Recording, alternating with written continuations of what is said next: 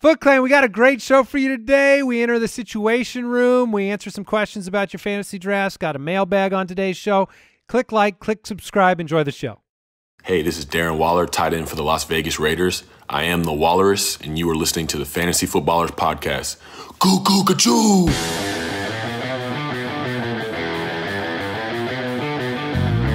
Welcome to the Fantasy Footballers Podcast with your hosts, Andy Holloway, Jason Moore, and Mike Wright.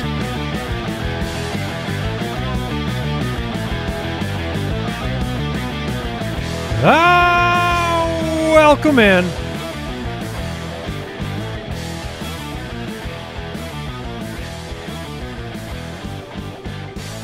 Saturday, July 17th. Saturday, Saturday.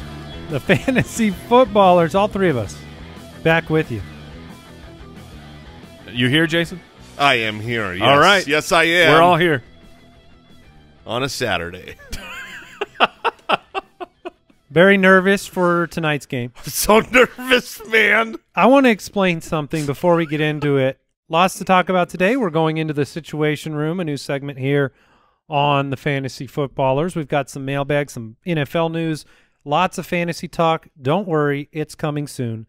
But I do want to take you behind the curtain to Jason Moore and sports fandom and what we experienced on the shat- earth-shattering defeat of the Phoenix Suns on Thursday. There, eh, look, there, shat happened. Oh, Oh, man. Yes, yes. So yes. um, we were not together for this game, watching this game. All No, but but we're always kind of together because we're in the Slack channel and we're just complaining about the referees or doing things that really biased hometown fans do. Mhm. that's part of basketball. Right. Uh, but Jason was in another realm because we didn't think we could get him back on the Peloton.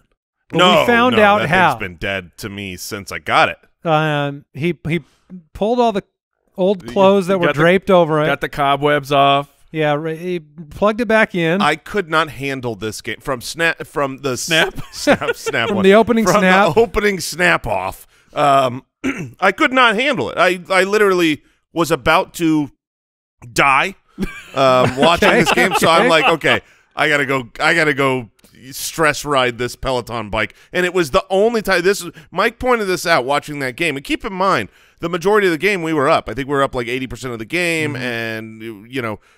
I did not have one second of positivity or joy And there's no fun. watching this game is just stress. It's just nonstop, complete freaking out worry. Like you can have a, a regular season game, you can have fun, even even if you lose it. Especially in basketball, when you play so many games, you're like, ah, that sucks that we lost. But no, I had fun watching it. It was an experience. Hung out with the family, had some snacks.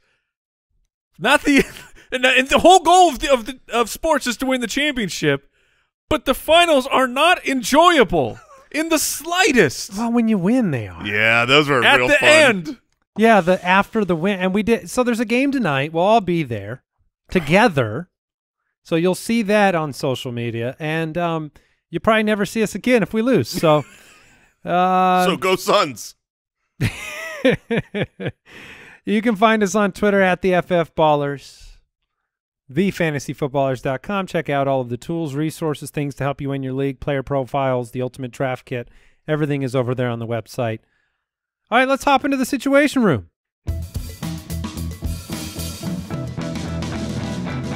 The Situation Room, Footballers Edition. into the situation room we go. In fact, Brooks the other day he brought up this idea to us that I really loved the the idea, the seed of the idea, which is that there are so many different scenarios you can find yourself in within your draft. There, uh, you know, it, it comes quickly, right? Everything is preparing for the draft. We try to equip you with our tools and resources. You've got all of your research, probably got your own spreadsheets. There's a lot that goes into the draft, and then, you know, as as Mike said earlier, um, stuff happens yes, and you can be put in some awkward situations. So Brooks had brought up, you know, he wanted to throw us right into like a uh, a wild and crazy mock draft and have us kind of go through what we would do when put in those situations. And today he's bringing one of those forward. Yeah, it's like we're doing a mock draft, and then we're getting a good old fashioned Zach Morris timeout. Exactly. And so this situation Um, well, here it is. You actually did it. Here's the situation. You used your first round draft pick on a tight end. His name is Travis Kelce. Now what? Okay. How does that impact your decision making throughout the rest of the draft, the overall strategy? Uh, maybe you went into the draft and you thought this was a possibility, but you wouldn't get him. Like, I think a good example of that would be if you were in the 11 or 12 spot Mhm. and you figure, well, he's going at nine to this other teammate in my league, and then all of a sudden he's there and you don't know what to do, so you take him, Mm-hmm. and your whole plan, everything you mock drafted when you took uh, that other running back in the first round, it's gone. What do you do? So it, it, it definitely has an effect on how you draft the rest of the way. Um, I'm going to assume here that you got Travis Kelce at near the one-two turn, whether you're 11 or 12 or 10. You're you're close together at the end of the first, at the beginning of the second, which means you are at the end of the third, beginning of the fourth. And when I am looking at those picks, to me, I have paired Kelce with a running back.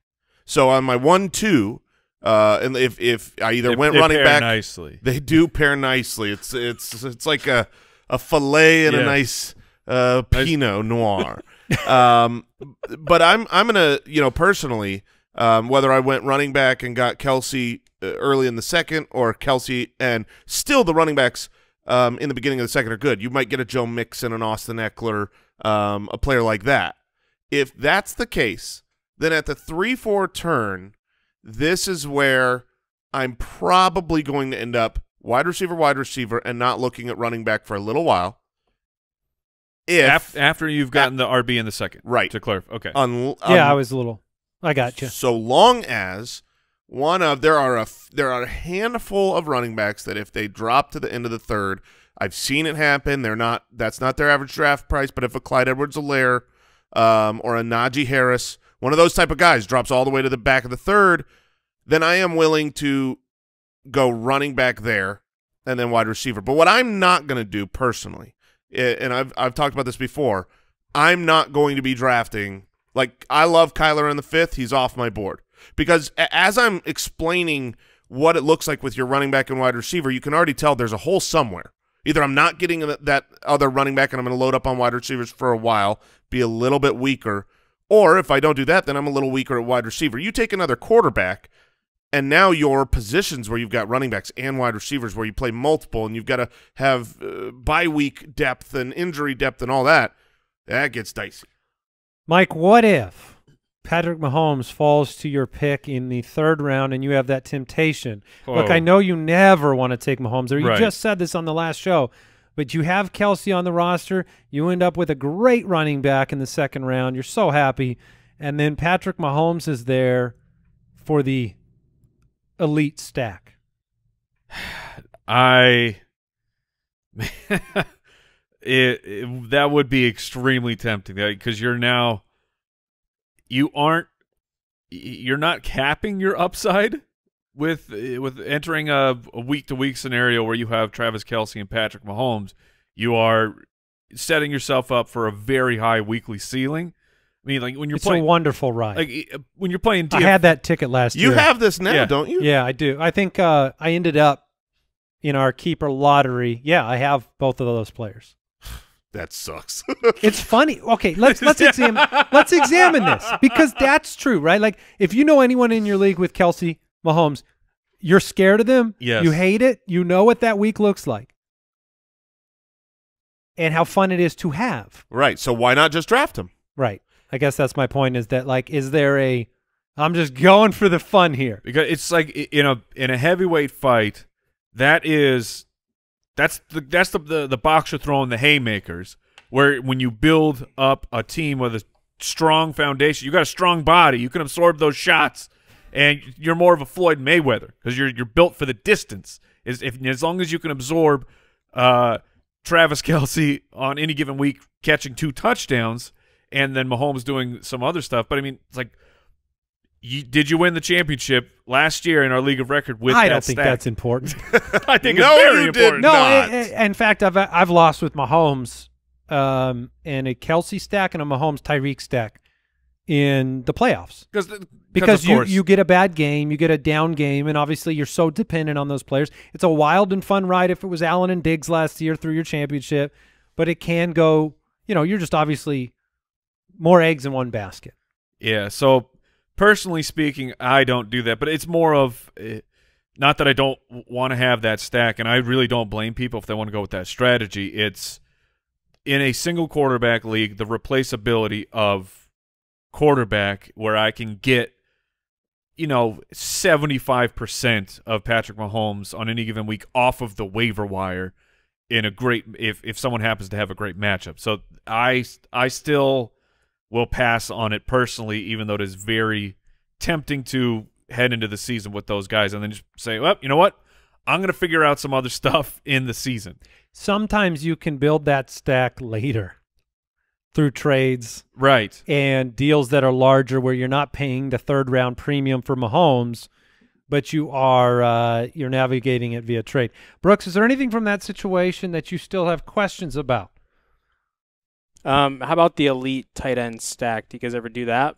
Oh, You're gosh, saying more no. than one? No, yeah, that's never. a very common question. If you grab Kelce, should you then go for Kittle No. and- or Waller so Great- you great- have the elite tight ends? That is a great bad question, Brooks. Um, never, ever, ever do that. I, I, I mean, tight end premium leagues, it's not a good idea to do that. You have to have the season. You know, assuming that this is a, a normal, you know, redraft keeper league like the majority of people play in.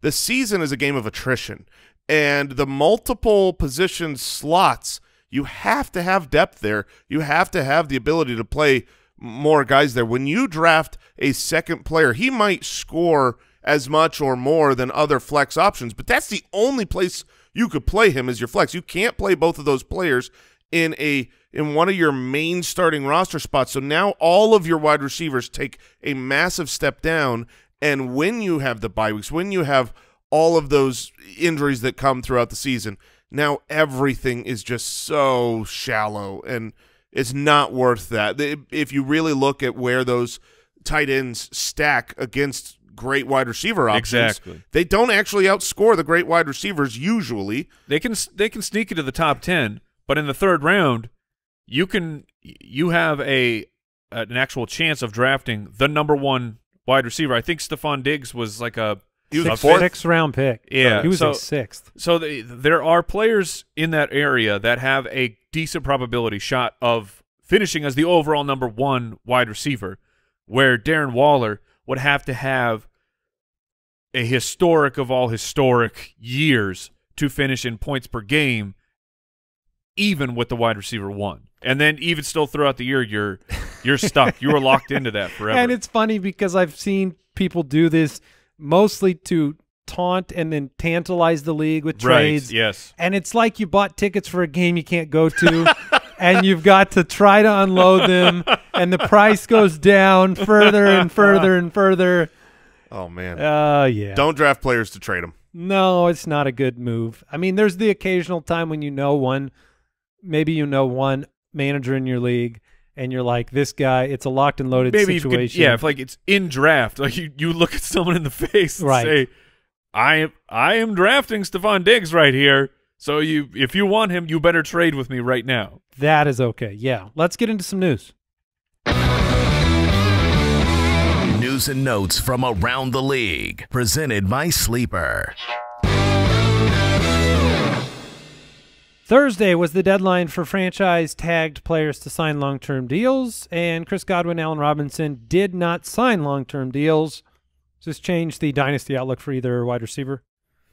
I Uh, guess were you expecting the 25 year old not. Godwin and 20, almost 28 year old Robinson to sign? No, no. I think the the common thought was that these guys were just going to be on a one year deal and then hit the free agent market when the cap goes up significantly. So you're going to get a bag of money next year. This is um, more of a deal for like uh, Tyler Johnson, Jaelon Darden, guys that ha- maybe there is a future path once Chris Godwin is out of the way.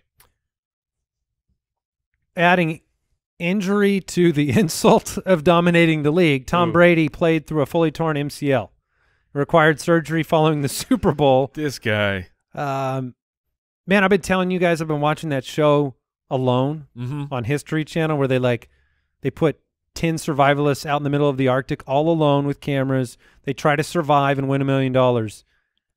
I'm not sure Tom Brady wouldn't take that thing home. I mean, is he because he would sit down, crisscross applesauce. He would just go into some kind of plant trance. say, you already know he'd find the plants to eat out there. He'd know every single one of them. he would he would have a, out of nowhere there would just be some torp uh, some type of green force field around him, and he would sit there for a hundred days. And then you and then he'd win, and then he'd go, "Actually, I had gangrene in my foot the whole time." That's exactly what happened. I mean, incredible. It it's really great to This is why I love Tom Brady so much. This year, because he did that last year on Because a I torn just- MCL. what? No, I mean just because the I think the potential and value. Like I was on a show the other day, and they asked my favorite values for the year, and I had to say Tom Brady because his age It's will fair. stop him from moving forward in drafts. The hype around a Jalen Hurts, it, it's infinite. It can go, in, you know, as high as can be. Yep. Uh, maybe they add some other wideout or something sexy, and then all of a sudden Jalen Hurts hype is through the roof. Brady's will not go up. Yeah, it's it's wonderful. Bra- Brady and Ryan Tannehill to me are the two guys where whenever I think when we're talking about the situation room and I'm like I'm bypassing Pat Mahomes or I'm bypassing uh, Kyler Murray, it, it it's because there are guys like that at the back of the draft that are going to be great. And for those curious, our injury expert Matthew Betts has said essentially he doesn't expect the injury to affect him. He should be good to go. It it's fantastic to be an elite immobile pocket passer. I mean, you don't need an MCL. If Right. you're just going to stand there, Didn't Philip Rivers play an entire playoff On a game torn with a torn ACL? ACL? Yes. Yeah. he did. Yeah, it's, I don't it's recommend incredible. that to anybody. Um, I just love that we don't hear about this until now. That's the thing that's compelling too. Is like this wasn't a storyline. He told nobody. He took care of his business. Won the got the surgery. He's all better. Now you find out. Um, Ryan Fitzpatrick says he's built some chemistry with his pass Oh, catchers. man. Yes. Expects to spread the ball around this season. Yes. Um, yeah, I mean, the thing about Ryan Fitzpatrick is he has historically looked to his wide receiver corps. Yep. Whereas last year in Washington specifically, Logan Thomas was the beneficiary of the Alex Smith treatment. yeah And also a complete lack of a wide receiver corps behind Terry McLaurin.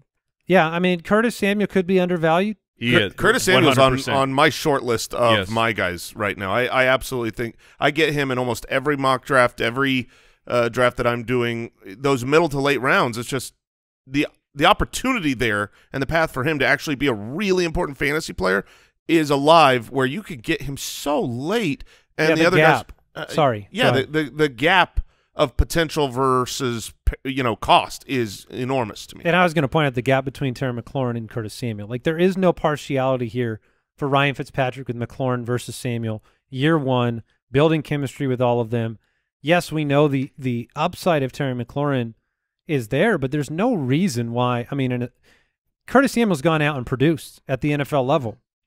Then he got paid to come in, and He the gap has. is many many rounds. Well, it it, it, I it, think it the- reminds me of Brandon Marshall was a way better player than Eric Decker. Yes. You know what I mean? Terry McLaurin is a is a better wide receiver uh, than Curtis Samuel. But DJ Moore is probably a better receiver than Robbie Anderson, but it didn't matter for a lot of games last year. right, uh, they, they will be close enough to where the value gap is is fantastic. I'm, and I'm in on both of these guys. Sure. I, and this is, I'm fa- I'm very happy where Terry McLaurin's ADP is. Uh, he is the the McLaurin situation this year is so incredible for fantasy, and thankfully his, ADP has not gotten blown out of proportion yet by people like us and other fantasy football industry people out there. Hopefully he stays where he is, and you can get him because top five is in the realm of possibilities for Terry McLaurin. To me, he is an elite wide receiver, as in just tactician. He gets open. He creates separation.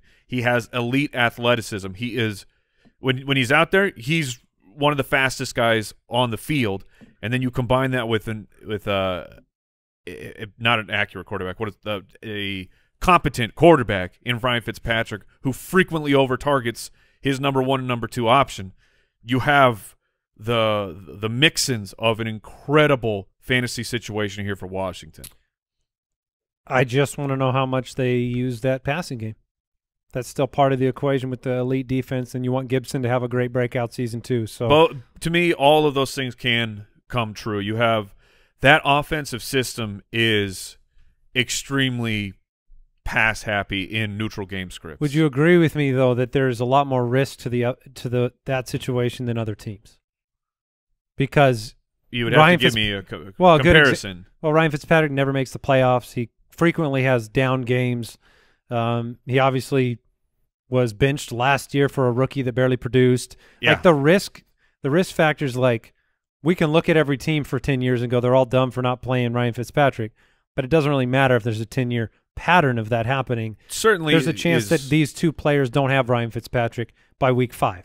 Uh, yeah. uh, uh, except who's behind him? I mean, it's uh, what's his face? The guy who played the playoff game, and every, we all went crazy. For, I can't believe his his name is yeah, escaping escaping right- all three of us. Um, Mix- Hein, Hein, Heinicke. uh, Heinicke, yeah. Yeah, uh, Taylor Heinicke, who did produce, but that's that's who's behind Ryan Fitzpatrick. I think that he is.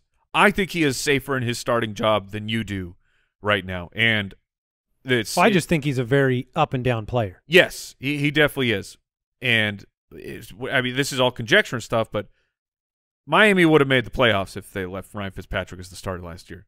You cannot prove me wrong. Well, they were six and three with Tua, ten and six, just bad luck.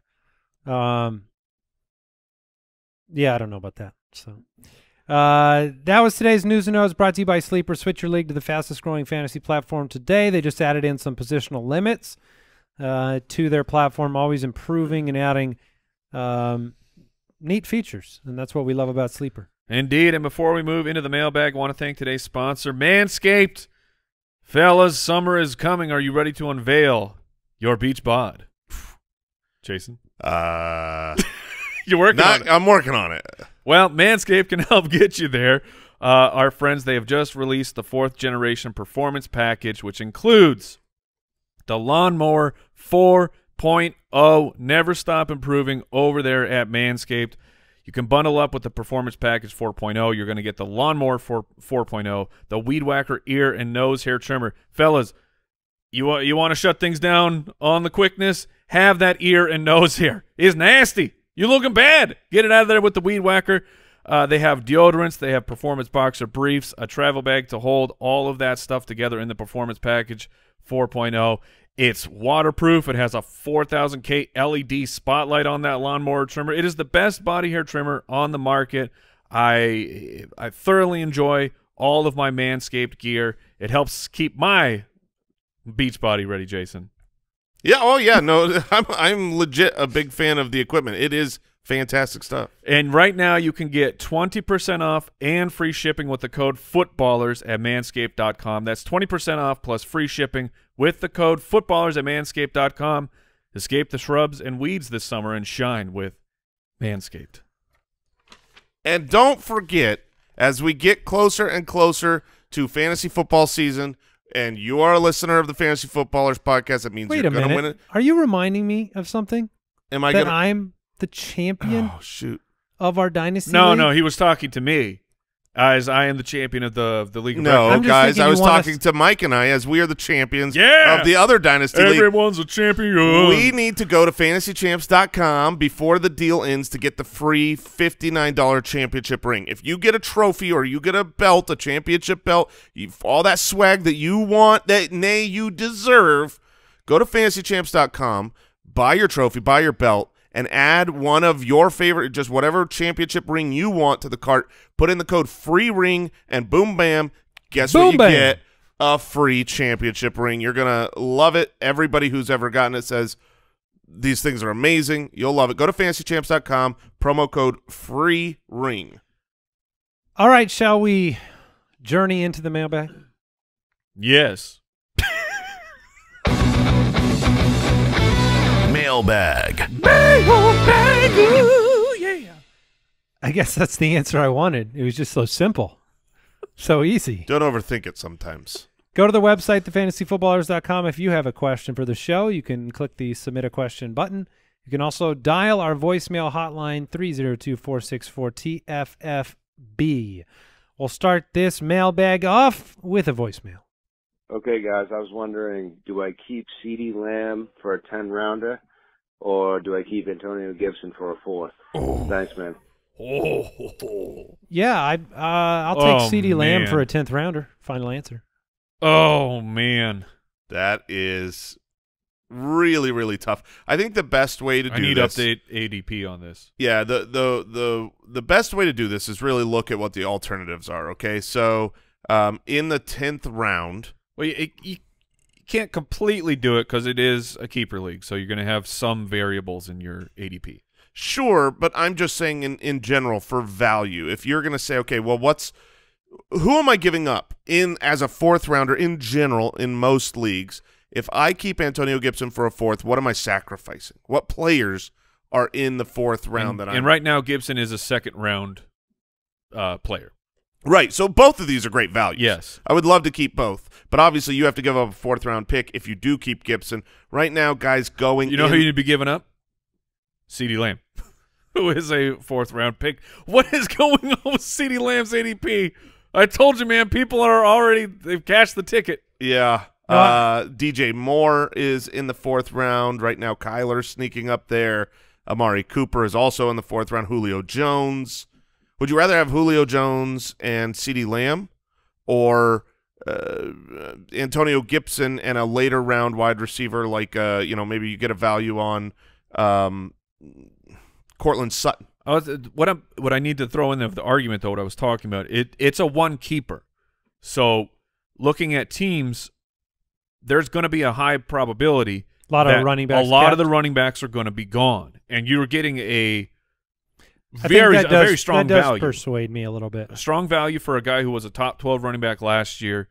They're talking him up of getting him more involved in the passing game uh, and really upping that workload for Antonio Gibson. If that happens, then you're I think top 12 is your floor. I totally hear what you're saying. I still think I'm going to go CeeDee Lamb. I, I I think the value is too good, and a fourth rounder, even in a keeper league, if it's a one keeper, so it's basically a fifth rounder. Those are still pretty valuable picks to get a free CeeDee Lamb. I'm taking Gibson. Makes sense. Did you change your mind there, Andy? I mean, he's right about the round exchange for the rookie or for the running back position. Do So- some detective work and see if you can find out who else is being kept. Yeah, I mean that probably persuades me into Gibson because it's still a value on him, and there's probably not going to be a similar running back of any any sort in the fourth round of your draft. So I think I just thinking of our league and the way that that pans out with keepers. Obviously, it's only one keeper. Um, I think that persuades me into Gibson. It's a very close race there. So, um, There's no wrong answer between two great options, though. Congratulations. Yes. I think I know why I can't get as behind Gibson or like Fitzpatrick or some of these Mike hype picks. Why? I thought you were going to tell us. Yeah. He What- just I, I figured it out. yeah, I just I'm happy I figured it out. No, it's because I like I, I I just think that there are like two sides to that, and you're so excited about Gibson that I never hear you say the wrong side. I never hear you say what might go wrong for Gibson or might Oh, go I- wrong for Terry McLaurin It- or wrong for Fitzpatrick. That's fair. Uh, uh, honestly, when I'm when I'm comparing the two players, I have more confidence in Terry McLaurin producing at a high level this year. Things for like Antonio Gibson way overproduced in the touchdown area last year. So if you have if that offense stagnates and that offense doesn't actually improve, moving to Ryan Fitzpatrick from uh, the Dwayne Haskins slash Alex Smith team, uh, then you then you will have a problem with Antonio Gibson because there, uh, I I don't think you see as much volume of uh, of passes going to the running back. Where I'm where I still believe it will, will be okay is because I think that the overall offense gets better. But that is that is my projection for the team. So if they if they don't actually improve, then yes, there will be a situation where Antonio Gibson is disappointing. I'll be rooting for him. I want to see them win that division again, and they're going to get renamed next year. You heard that, right? I did. Official. Yes. Here's here's a great follow up Keeping question. the colors too. Great follow up question, just to to put uh, n- n- some numbers on it from uh, Brett Jenke. Antonio Gibson, what's his floor? What's his ceiling? I have. I think his ceiling is RB three. His floor is RB twenty three. I think his ceiling is RB eight, and I think his floor is probably RB twenty four. I'd side more with Jason's numbers. All right. Um, Instagram question from Sawyer Shaw in a dynasty league, full blow it up rebuild mode. Would you trade or hold Mark Andrews if you're in that boat? oh boat? wow. He's probably a trade to me. If you're in full blow it up mode, um, I would probably move him. It's tough. He's 25 years old, which is pretty young for a tight end, right? I mean, we see a He's- lot of these. He's got to be due for a contract, right? Um, yeah, yeah, he's he's. Uh, I'll, I'll bet he gets extended this year. Um, you know, I he had a. I think most people view Mark Andrews is having had a down year. Um, I've had a lot of questions lately on uh, if I'm in a rebuild, do I trade player X? And I, I gen generally tend to go well. How is their value right now? Did they peak last year and they're great and you can get a lot for them, or are they maybe down below what the talent of the player is worth? And I think right now Mark Andrews is a little undervalued, He is a little undervalued. and so I might hold him um, because he's still good for a rebuild. it's 'Cause he's it's young. just funny. Like he had five top five performances at the tight end position in the first eleven weeks. So fifty percent of those games, he he dominated for your team at the running at the uh, tight end position. Yeah. But it did feel weird because Lamar felt weird. The offense felt weird. You missed game due to injury. Um, and you had Waller that was super consistent.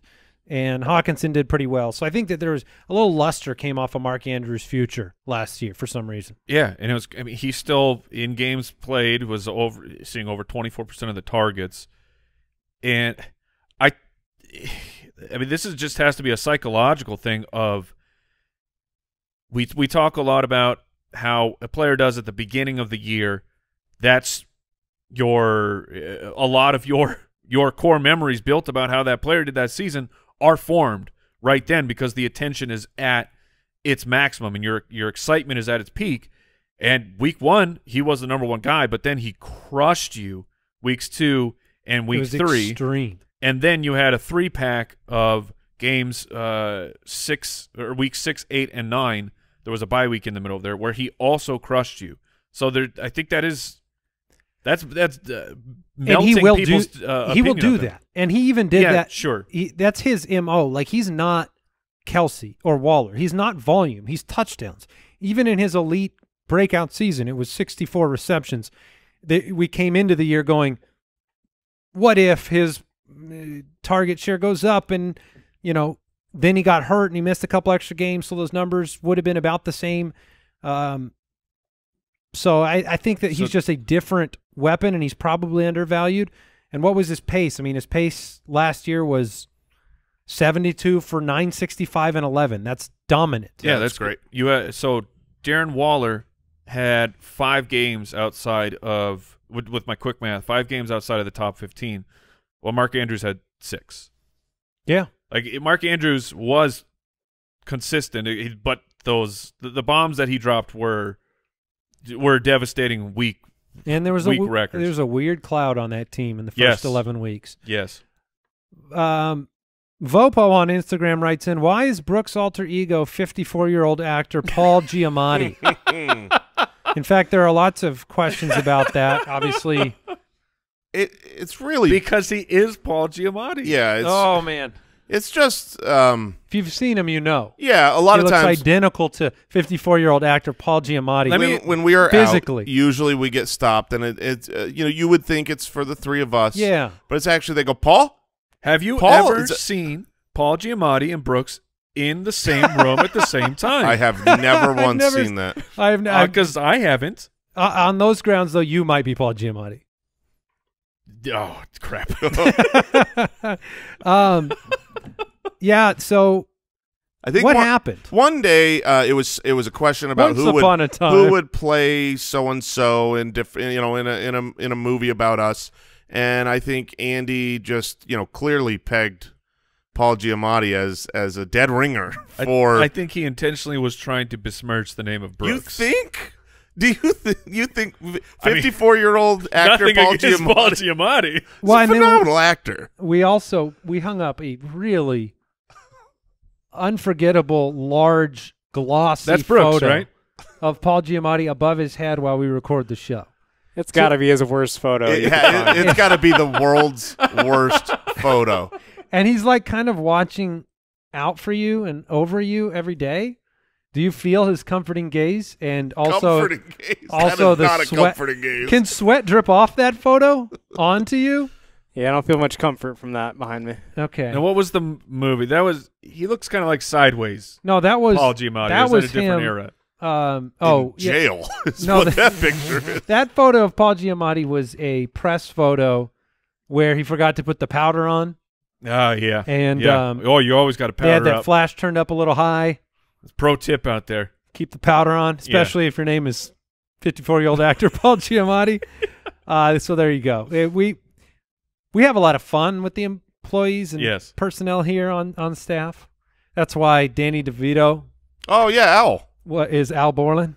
So Handsome. how do you how do you how do you feel now that he's Danny DeVito? I'll take G- I'll take G Matty. yeah, yeah. Um, let's go. Oh well, we got a follow up. Someone wants to know how Mike got dubbed the fantasy hitman as well.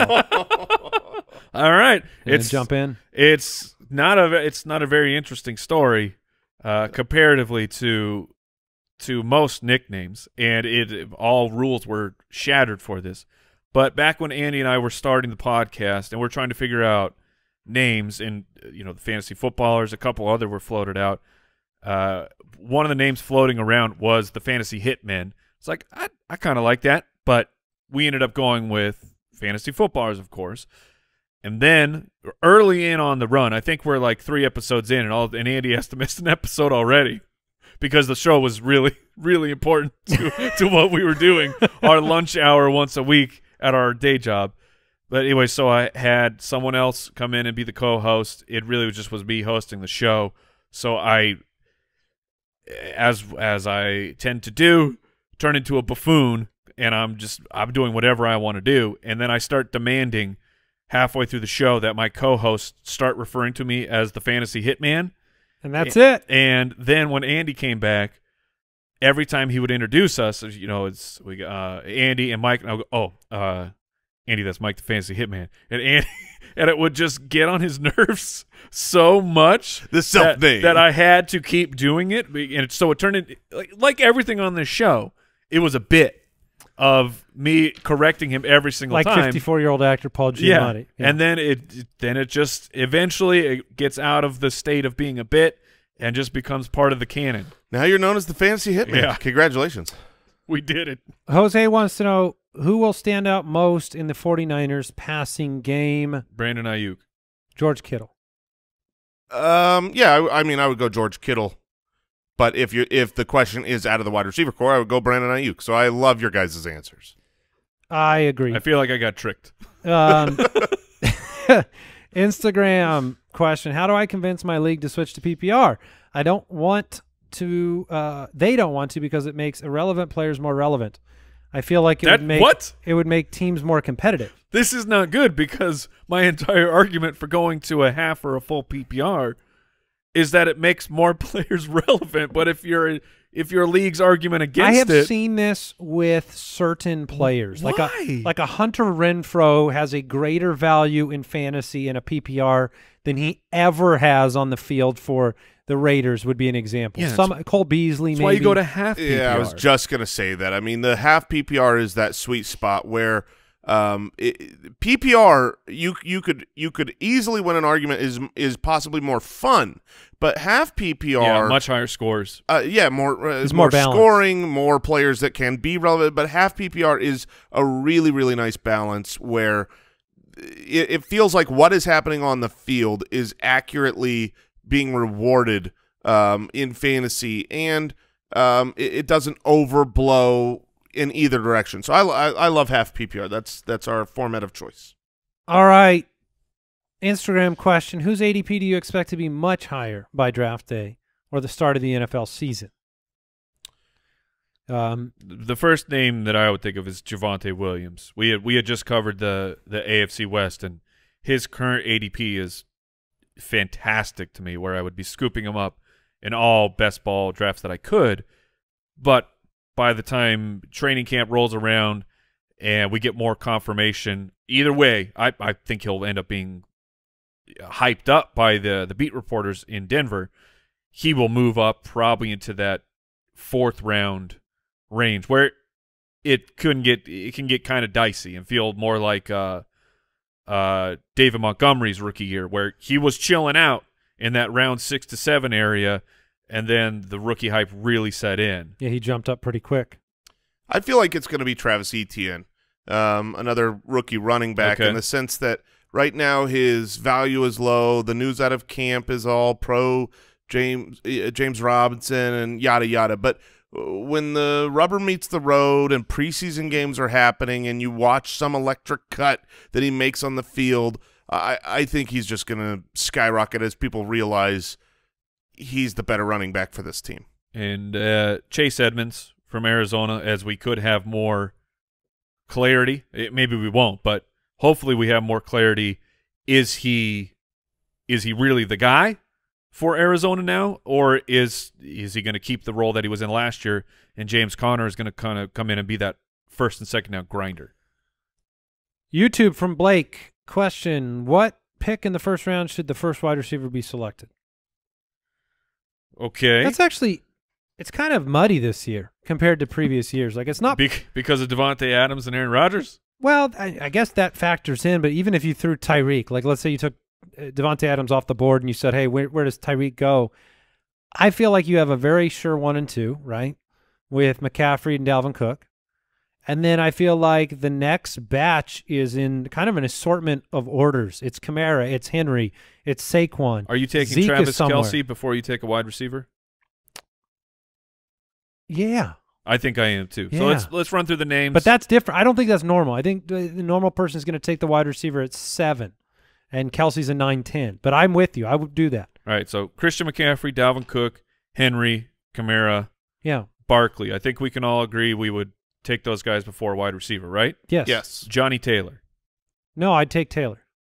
I would. I would take the wide receiver ahead of Taylor. Yeah, you have but done there are that. other Okay, running backs. We'll get yeah, okay, Chubb. Taylor or I would take. Wait the a minute. I would take the wide receiver. I would take Chubb. Okay, so Andy's up to six. Zeke. I would take Zeke. I'd probably take Zeke. Okay, Aaron Jones. Aaron Jones, and we know that Aaron Rodgers yeah, is no, I going to be it. there. Um, that's my wide receiver spot. Okay, Yeah, or I guess my Kelce spot. okay. If we know Aaron Rodgers is there, I'll take Aaron Jones. so I mean, we're talking back back of the first. Yeah, I mean we've seen him higher in years past. Michael Thomas was what, like five on average last yeah. year.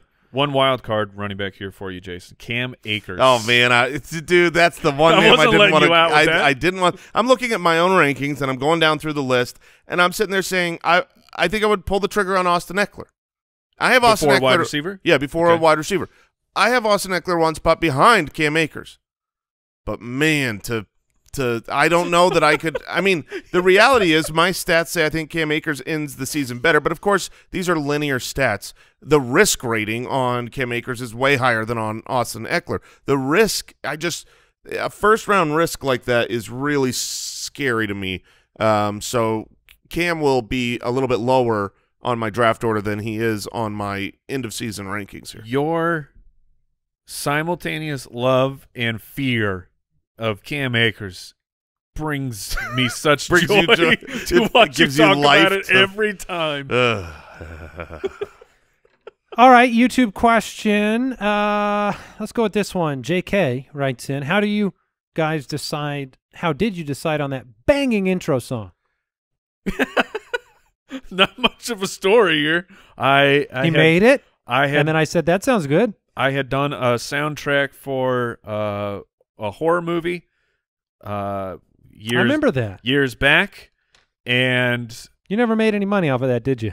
I look I I paid like a month's worth of rent from it. Oh, did you? Yeah, so we did all right. Maybe I, I was And- thinking of a video game you did a soundtrack for. Oh yeah, there's plenty of those, but the exposure was great. uh, but uh, I, I had I had written that for the movie, and we we're doing just our league podcast, so I threw together an intro with that on there, and and I was like, hey, how's this? And he was like, yeah, sounds good. So, yeah, it's so it was not even written for this show, which No. I love. That it's just like, oh yeah, yeah. so when you I got Well, this I- thing. don't you remember I brought my song and then we compared and we are like, man, which one's better? And then Yeah. it was really close. And then you We went, had to, we like- with yours. we had to do a blind poll, but it's, it's so when you see uh it no I'm not if you want to go find the movie it's it you'll be able to find it I'm not going to talk about it on the show but it's really weird because I've gone Yes, back and watched I it have and I'm like it's so out of context what is happening That's weird. Yeah, because now that Yeah. music means our show. I've heard it thousands of times and you watch that trailer and you're like, why? Wait, we, this we don't is know so out of royalties, place. right? oh no no I cleared it All right, good. Uh, Instagram question. Uh, keeper league. Would you keep Justin Jefferson or Saquon Barkley? Saquon. Saquon Yeah. Um, favorite stadium snack? Nicole wants to know. ooh that's an excellent question as we're going to the stadium It is easily a giant hot dog, and I that's do. a snack that is the true answer to th- that. Is my snack. That is my go-to snack. so is what's the your hot what's dog. your go-to meal Oh, my also go a hot my go-to meal is is Two hot pre- dogs. Is pre-game. Ah, okay. So like before the game that- starts, I go to a restaurant, that's a cheap. and then I get Which- to the stadium and I get a hot For dog. the record, is my plan. we found out that we're going to the game and there's some there's already food figured out. Yeah. And um, we were originally going to go and get dinner and then go to the game. And Jason has informed me he's planning on just keeping the dinner reservation and then eating dinner again at the game. Let me ask you this: Why would you eat once when you can eat twice? I don't know why these LPs don't fall away. Just can't figure it out. Have a tummy ache. Um. Oh, I will. I will oh, for okay. sure. Don't you worry. Just, you just live with that. Just power through. That's something, my you know, secret. They, it always hurts. uh, I was told once, no pain, no gain, and so I have gained a lot. Bulk You've season. pushed through. What's your favorite snack, Andy? Hey man, any place that's got a giant cookie, I'm in on that. A cookie. I'm a nacho man. Really? Nacho. nacho So, man. Uh, uh, but yes, I I love nachos, especially as a Do you find like the cheese variable to be a problem for your endeavors? not anymore because now it's always in the. It's all the same. It's all pre-prepared. It's not a. It's not the nacho cheese machine anymore. Or if you're in a stadium, not they don't always have them, but I know at least in the Cardinal Stadium they have them. If you're out for a, a quick jaunt Yeah. and you get hit in the face with those uh, the the roasted nuts, the uh, Oh, the, yeah. the the candied ones. Oh, I know what you're talking oh about. They- man, you you good luck making it through that You saying that scent without buying any. So if you get hit in the face with them. Yep, All right. Um, got it. I Do recommend you like your nacho cheese with the uh, like pudding film on top of it? You know, you can get the nacho cheese. Sometimes it comes with that. It Oh, ends up by the that's- time you get to your That's the name of the game now. You got to break through the top. Yeah. Also, I don't I don't do jalapenos. Not I'm not in on that. No, I'm not either. I bet Jason is. No, no, no, no. No I, I don't. I'm not. I'm not a super spice guy. Do you do nachos? Yeah, I like nachos. Okay. I, mean, I it's- love that Wait, I- you're talking about tortilla chips and cheese, right? Yes, yes, nachos. Yeah, I'm in. Okay. Instagram question: Which players will you not draft now but trade for in the middle of the season? Oh, quarterbacks. A lot of times. I mean, Mike pulled this with Lamar Jackson last year. You want to talk about uh, getting uh, Patrick Mahomes? I might not draft him, but I'll trade for him uh, after a couple of bad games. Um, and rookie wide receivers. I'm not drafting Ja'Marr Chase. I'm not drafting uh, a lot of these guys. But if they have a bad start to the season and I can get them for pennies on the dollar in week four, I will. All right, I think that's gonna wrap it up, fellas. We did it. Jason's got to get prepared for dinner one, dinner two. Oh, that's right. Got my gas Dinner one, already. Let's go. Man, I just never, I never know how much of, of our personal relationship to share on this show. But, but I will say, I mean, you brought that up, and I went to dinner with you before the game, and you pre, he preloads a gas X. Um, he some- preloads wait, it, Normally two. Preloading. Yeah, you got to pre. You got to. They were shovel. They were trying to. Him and his wife were trying to push me into a gas Oh, yeah. before my meal, Should have had it. like a drug dealer on the corner. We open our. uh You Trench pre- coats and- oh, yeah. X. Well, I mean, you got to be prepared for what It- could possibly I- happen. How many farts do you have? Less. Infinity. I mean, I can't burp. If I could burp, maybe I wouldn't have. you to. really go double double gas X Yeah, yeah. I mean, Is that's that the- recommended That is recommended by a doctor? by the package. before before the meal though. Those aren't after. Those are preloads. yeah. Man, I'm learning new things, Mike. We've got to uh, get the life insurance figured out around here. Yeah, we All do. right, that'll do it for the Fantasy Footballers Podcast. Thank you so much for tuning in, supporting the show. Join the community at jointhefoot.com, and we'll see you there. Goodbye. Thank you for listening to another episode of the Fantasy Footballers Podcast. Join our fantasy football community on jointhefoot.com and follow us on Twitter at the FF Ballers.